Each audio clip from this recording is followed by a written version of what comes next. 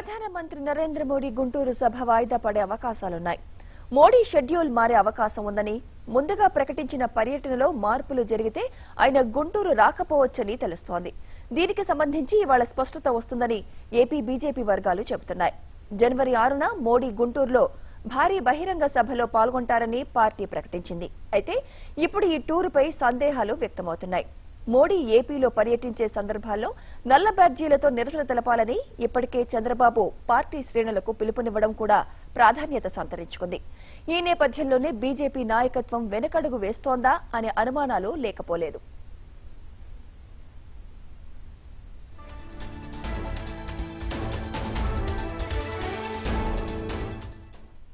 నరేంద్ర మోడీ రాష్ట్ర పర్యటన కేరళ షెడ్యూల్పై ఆధారపడి ఉంది. ముందుగా అనుకున్న ప్రకారం మోడీ తిరువనంతపురంలో జరిగే సభలో పాల్గొనాల్సి ఉంది.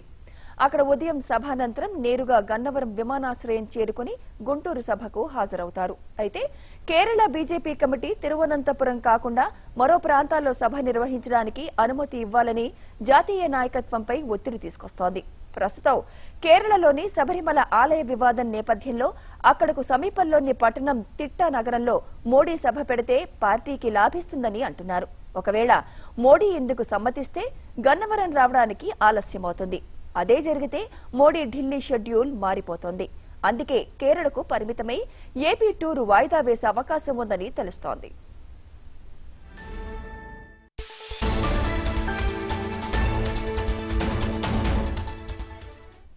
గుంటూరులో జనవరి ఆరున ఏపీ బీజేపీ భారీ సభకు ఏర్పాట్లు చేస్తోంది. మోడీ వస్తుండటంతో చుట్టుపక్కల జిల్లాల నుంచి రెండు లక్షల మందిని సమీకరించేందుకు ఏర్పాట్లు చేస్తున్నారు.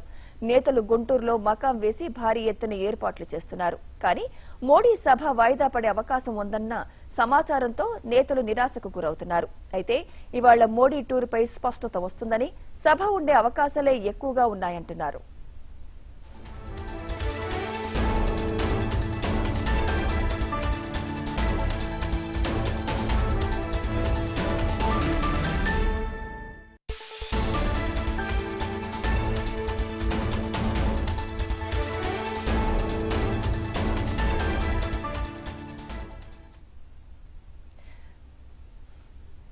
ప్రధానమంత్రి నరేంద్ర మోడీ గుంటూరు సభ వాయిదా పడే అవకాశాలున్నాయి. మోడీ షెడ్యూల్ మారే అవకాశం ఉందని ముందుగా ప్రకటించిన పర్యటనలో మార్పులు జరిగితే ఆయన గుంటూరు రాకపోవచ్చని తెలుస్తోంది. దీనికి సంబంధించి ఇవాళ స్పష్టత వస్తుందని ఏపీ బీజేపీ వర్గాలు చెబుతున్నాయి.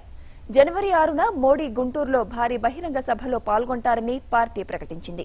అయితే ఇప్పుడు ఈ టూర్పై సందేహాలు వ్యక్తమవుతున్నాయి.